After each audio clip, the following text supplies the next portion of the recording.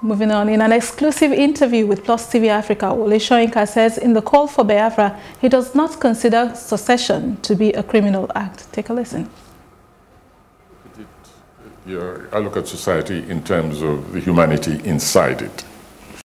I think, uh, and all of us will agree that basically, nation is an artificial construct.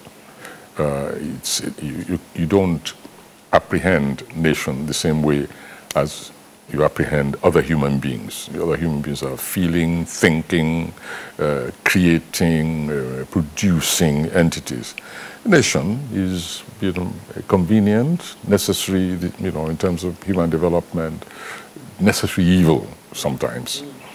And so the will of the people for me matters over and above any kind of notion of how people should be uh, the, what, what do people really want for themselves?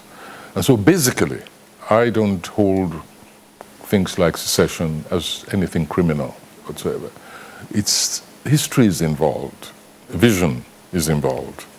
And if circumstances arise in which a people, a collectivity, feel that they don't belong any longer, they have a right to try and determine their future course.